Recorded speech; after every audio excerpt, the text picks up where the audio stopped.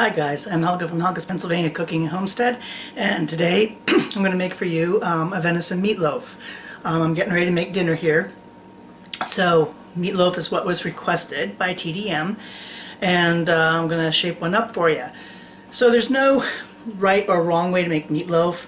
You can make it a million different ways. Um, sometimes I use, I just throw together leftovers in my fridge. Um, but I tend to have one basic recipe of components that I usually use.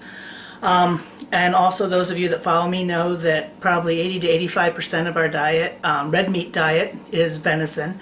Um, I still like my moo moo, um, but the main portion of our red meat is venison that the family harvests. So um, that's what we're doing tonight is venison meatloaf. So I'll show you how I put mine together. Is uh, venison. And this was harvested here this past fall um, from a deer that was gotten at our farm.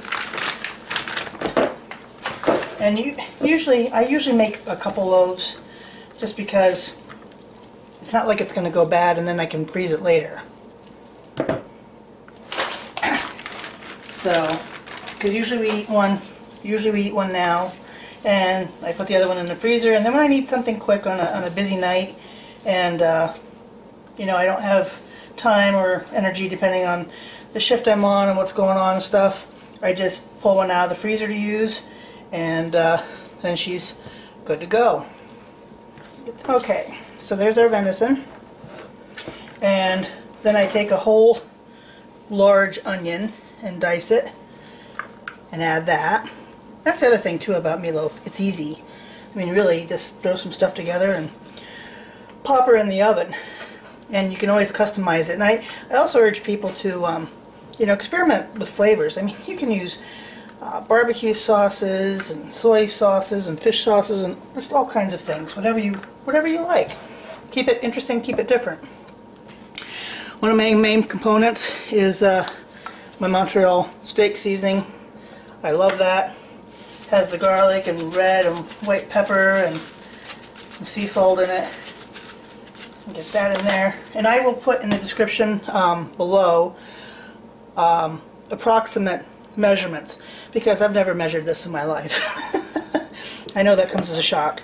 I like using a either a uh, spicy brown mustard or in this case this is a sweet hot mustard like a deli mustard and that gives it a little kick because I like mine to have some oomph.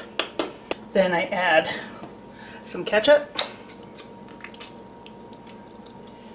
Like I said, I'll put approximates down below because I've never measured it in my life. And I add some Parmesan cheese. Well, this is actually Parmesan Romano, which is even better because everything's better with cheese. I add some and Perrins.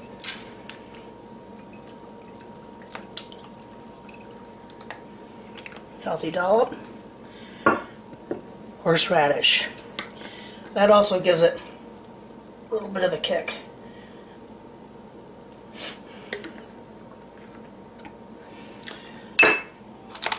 I also have some um, French onion dried soup seasoning mix here. And I don't add a lot because it can be salty, but I do add a little bit to give, some, give it some depth. So, I don't know, maybe one to two tablespoons. Like I said, not a lot. I also have some uh, flaxseed meal here. Flaxseed meal is a really easy way to incorporate some really healthy stuff into your diet. I do it, I put it in salad dressings and other uh, condiment mixes. I add it to my meatloaf or meatballs and it just, it's, it's a nice healthy way. And venison itself is also, you know, really lean and healthy. So this is actually a really unbelievably disgustingly healthy dish. Um, but the flaxseed is a really nice addition and it's really good for you and your diet. So I do recommend that. Um, I add a couple of eggs as a binder.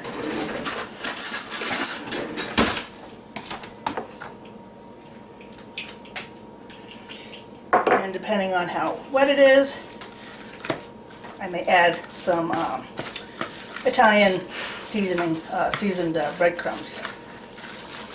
So you're just gonna give this a nice, good mix. And, and adding the Parmesan cheese and um, some of the other stuff helps keep the venison moist.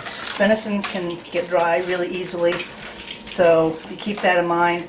Sometimes I'll even use um, a little uh, bacon fat to also give it a little extra fat if it needs to keep it, help keep it moist so it's not dry. And this is still, this is still a little, a little wet, wetter than I normally would make it. So I am going to add just a sprinkle of the uh, seasoned breadcrumbs. Mix those in. Mix this in, and then I'm going to um, shape it into two loaves and put it on my tray and bake her. So, I'll show you when we go to put it in the oven. Okay, so here they are on the tray. Um, I like doing them this way instead of in a loaf pan, so they're not as deep. But they tend to cook uh, more quickly and more evenly this way. Um, but you know, you can do what you want. Like I said, there's there's no right or wrong way. So I just garnished them a little bit with some spicy brown mustard and, and uh, ketchup, which will act as a glaze on the top, and they're going in the oven. 375 for about half an hour to 45 minutes. Here they are, out of the oven, nice and hot. See that? And uh, I'm gonna get ready to plate up dinner and uh, we'll try her out. Here it is. You saw it out of the oven. Here it is on the plate. And see how it is. I think venison makes terrific meatloaf. Mmm.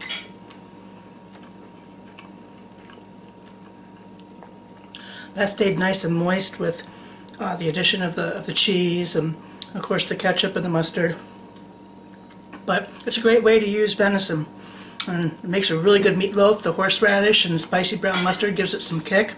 The flaxseed meal uh, sneaks in another healthy component, and nobody will ever know you used it. So you can make it healthy and sneak it in. So that's my venison horseradish meatloaf. Hope you like it. Until next time, bye.